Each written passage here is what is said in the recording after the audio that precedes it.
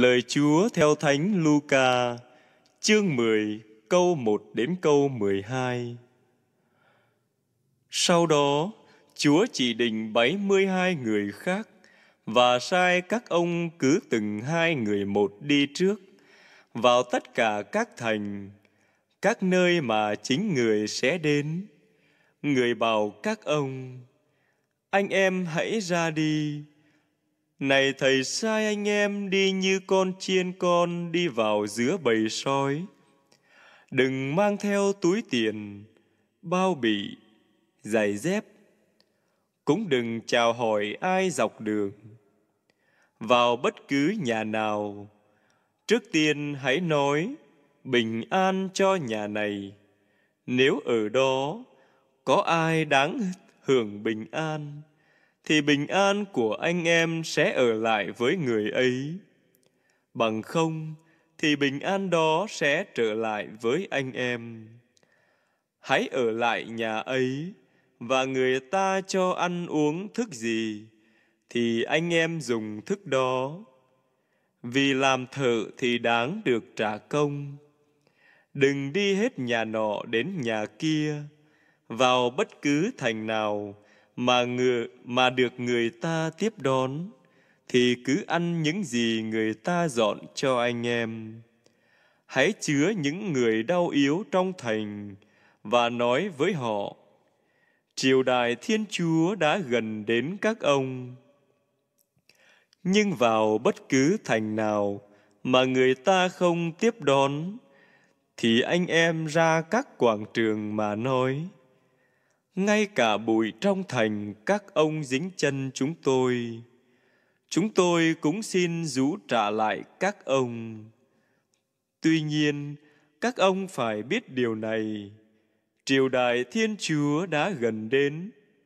Thầy nói cho anh em hay, trong ngày ấy, thành sơ đôm còn được sự khoan hồng hơn thành đó.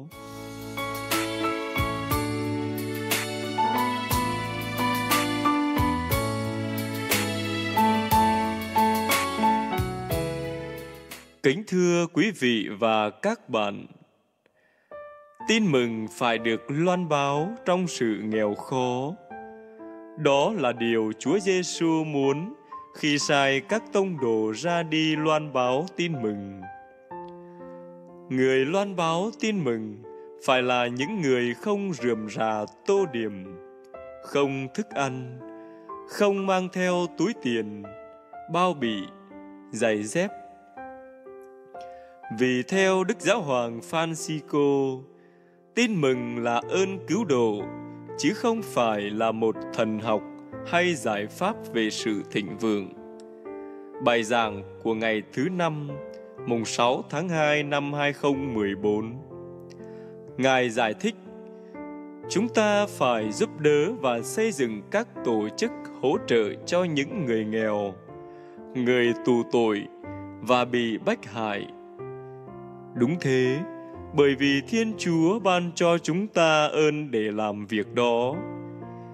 Nhưng khi chúng ta quên mất sứ mạng loan báo tin mừng, quên mất sự nghèo khó, quên mất lòng nhiệt thành tông đồ, rồi thay vào đó, chúng ta đặt hy vọng vào những phương thức của con người, thì giáo hội sẽ dần dần trượt dài trở nên một tổ chức phi chính phủ, trở thành một tổ chức đẹp đẽ.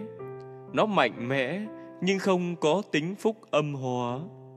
Bởi thiếu đi tinh thần, thiếu đi sự nghèo khó, và thiếu mất sức mạnh chữa lành. Quả thật, người loan báo tin mừng thực sự chính là người bước theo con đường nghèo khó của Chúa Giêsu đấng vốn dĩ là thiên chúa, nhưng đã tự hủy mình. Đấng vốn giàu có lại trở nên nghèo khó vì chúng ta. Để chúng ta trở nên giàu có nhờ sự nghèo khó của người. Lạy chúa giêsu xin giúp chúng con biết can đảm bước đi theo chúa trên con đường nghèo khó. Nhờ đó chúng con thật sự trở thành chứng nhân đích thực, tin mừng của Chúa. Amen.